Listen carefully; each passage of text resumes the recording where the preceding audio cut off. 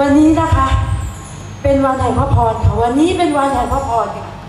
ให้เราพูดกับตัวเองสิคะว่าวันนี้เป็นวันแห่งพระพรประตูของพระพรกำลังจะเปิดขึ้นแล้วค่ะ วันนี้เราจะมาแบ่งปันสั้น ๆนะคะเพียงไม่กี่นาทีนะคะ เกี่ยวกับเรื่องของประตูของพระพรค่ะ อยากจะมาพูดถึงนะคะ แบ่งปันในพระคำวิวรณ์ค่ะ บทที่ 3 ข้อที่8ถึง13นะคะ อยากจะให้เรานะคะเปิดพระคำนะคะ วิวรณ์บทที่3นะคะข้อ8ถึงข้อ 13 เพราะว่าพระเจ้านะคะ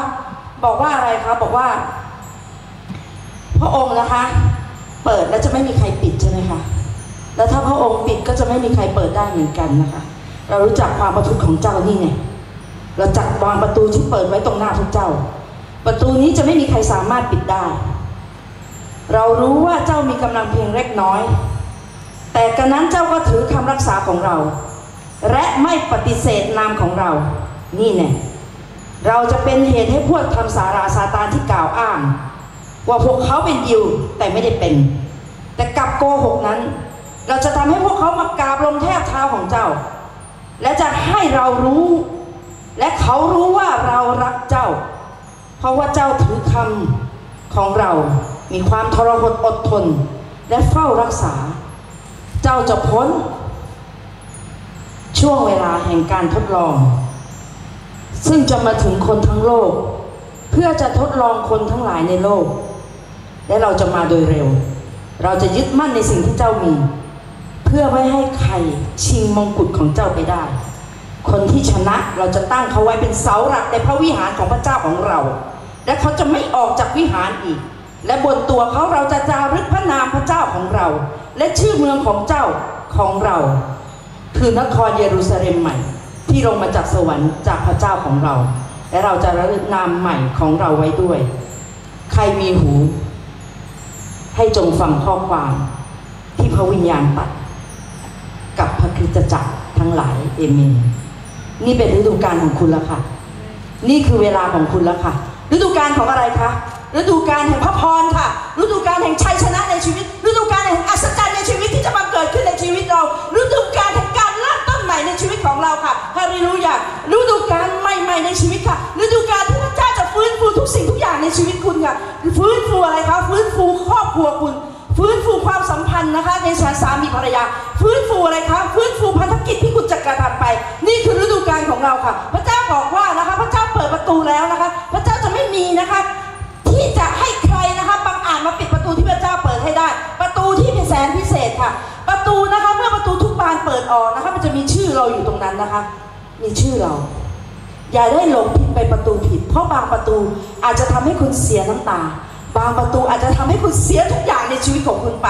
แต่ประตูของพระเจ้าเป็นประตูพระพรค่ะ ที่จะมีชื่อคุณอยู่นะคะรถขอเผยพระวจนะค่ะ ชื่อบางคนนะคะรถเห็นสามวันบางคนห้าวันบางคนสามเดือนและหกเดือนค่ะ และบางคนนะคะประตูพระพรเปิดตั้งแต่ วันนี้นาทีนี้เป็นต้นไปฮาเลลูยาเอเมน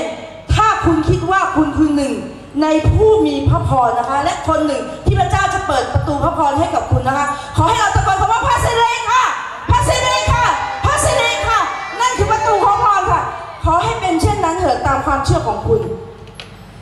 และเมื่อคุณนะคะ เปิดประตูพระพรนะคะ เมื่อพระเจ้าเปิดประตูพระพรนะคะ หลายผู้คนนะคะคุกเข่าค่ะ อธิษฐาน เอ้ยประตูพระพรเปิดออกประตูพระพรเปิดออกประตูพระเรานี่แทบอยากจะเอาขวานไปจามประตูให้มันเปิดออกนะคะ ไม่เปิดค่ะ เพราะอะไรคะ เพราะยังไม่ใช่เวลา แต่รถมาวันนี้เพื่อบอกคุณว่า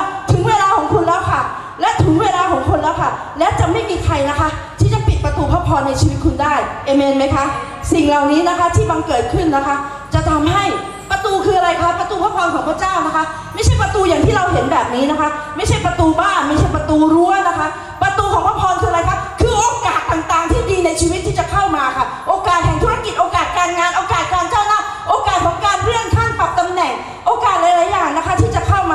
กาสที่จะลงทุนในชีวิตนะคะ และสิ่งเหล่านี้นะคะจะไม่มีอะไรเป็นอุปสรรคในชีวิตเราได้นะคะ อยู่ที่ว่านะคะคุณนะคะเข้ามานะคะเป็นคนชอบทำกับพระองค์หรือเปล่านะคะ บางคนนะคะเข้ามาหาคุณนะคะ เมื่อประตูของพระเจ้าเปิดนะเขาจะมาถามคุณว่า อยากให้เราทำอะไรให้คุณน่ะ คุณอยากทำธุรกิจอะไรอะ่ะเอาไม่ต้องร้องไห้เช็ดน้ำตามาคุยกันก่อน อยากได้อะไรอยากทำอะไรไหนบอกมาสิ จริง ๆ นะคะเริ่มเมื่อฤดูกาลของเรามาถึงแล้วนะคะ ในพระคัมภีร์บอกว่าไงคะ จงลุกขึ้นและฉายแสงใช่ไหมคะรถพร้อมแล้วนะคะ พร้อมที่จะไปแล้วนะคะ แต่รอพวกเราอยู่ เราลุกขึ้นหรือยังคะพูดมาสิคะว่าลุกขึ้นแล้วฉายแสง ลุกขึ้นมาแล้วฉายแสงโลกใบนี้นะคะโลกคนเดียวแสงไม่พอค่ะ ต้องการแสงจากทุกคนมารวมกันนะคะ เรานะคะต้องลุกขึ้นมาและฉายแสง พระองค์บอกว่าอะไรคะพระเยซูนะคะกล่าวเป็นคำอุปมาอุปไมยว่า เราต้องสัตย์ซื่อใช่ไหมคะ สัตย์ซื่อแม้แต่สิ่งร้อยน้อยนิด พระองค์บอกว่าถ้าคุณสัตย์ซื่อแม้สิ่งร้อยนิดนะคะ สิ่งใหญ่ ๆ นั้นนะคะ พระองค์ก็จะประทานให้ แต่ถ้าเราไม่สัตย์ซื่ออะไรเกิดขึ้นคะ แม้สิ่งที่น้อยนิดทำไมคะพระเจ้าจะทำไมคะ พระเจ้าจะเอาคืนกลับไปใช่ไหมคะ เพราะฉะนั้นนะคะเมื่อไรก็ตามที่พระพรนะคะมาถึงนะคะอย่าลืมถวายสิบรถ อันนี้ขอพูดนะคะ หลายคนนะคะ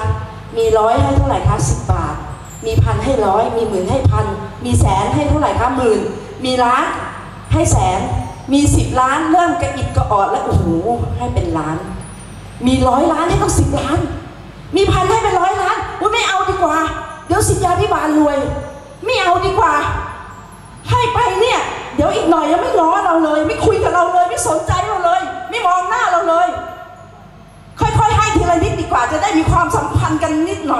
อย เป็นการ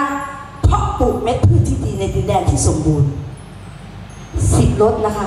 เมื่อไหร่ก็ตามที่เราถวายพระเจ้า สัตย์ซื่อพระองค์บอกว่าพระองค์จะทำลาย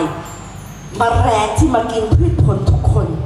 ที่เกิดขึ้นพระเจ้าจะทำลายอำนาจดวงทั้งหลาย เพื่อไม่ให้พระพรของคุณพินาศ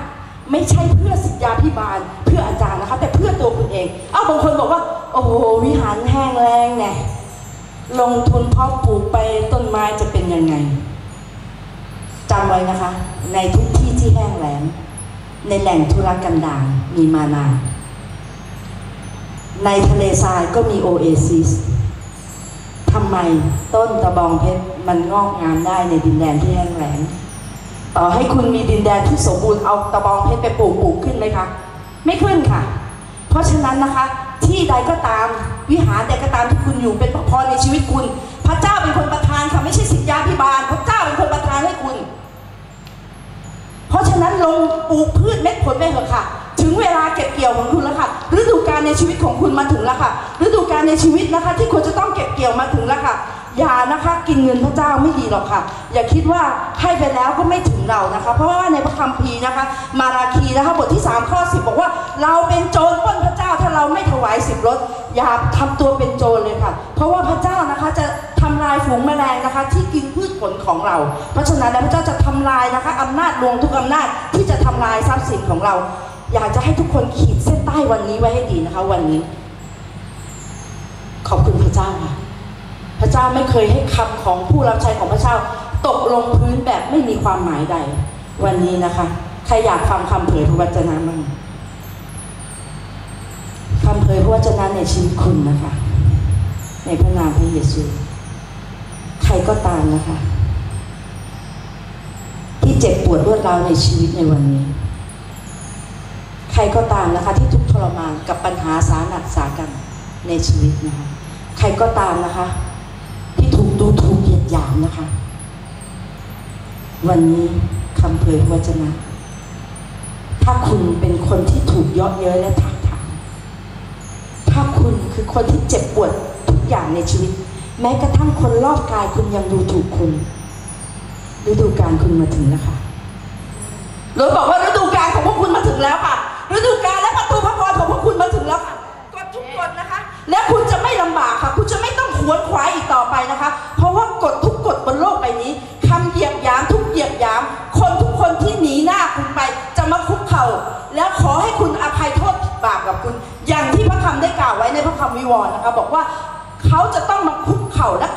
คุณ วันนี้เวลาของคุณมาถึงแล้วค่ะ กฎทุกกฎอำนาจทุกอำนาจนะคะ ไม่สามารถหยุดยั้งใด ๆนะคะ พระพรที่พระเจ้ามาถึงเราได้นะคะ อย่างเช่นโยเซฟค่ะโยเซฟโยเซฟพระเจ้าหย่อนโยเซฟเหมือนเมล็ดพืชลงไปในดินแดนอียิปต์โยเซฟเป็นใครคะเป็นคนคุกเป็นนักโทษถูกจองจำแต่เมื่อถึงเวลาของโยเซฟโยเซฟเป็นยังไงคะ โยเซฟเป็นคนออกกฎแทนที่จะเป็นคนรับโทษ นั่นคือเวลาของโยเซฟ เวลาของคุณมาถึงแล้วค่ะ เวลาของคุณมาถึงแล้วค่ะ ในแต่ละวินาทีนะคะ ขอให้เราตั้งงาน ตั้งตรงขึ้นมานะคะ เหมือนอย่างเอสเตอร์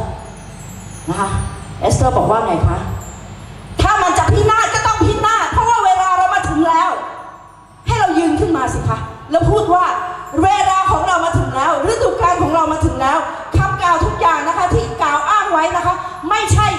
สิ่งเหล่านี้นะคะคือพระเจ้านะคะ คนคนอิสคาใช่ไหมคะ เป็นกลุ่มคนนะคะ ที่เขารู้กาละเวลาและโอกาส เขาบอกไว้เลยค่ะ นี่เป็นเวลาของอิสราเอลที่จะมีกษัตริย์ วันนี้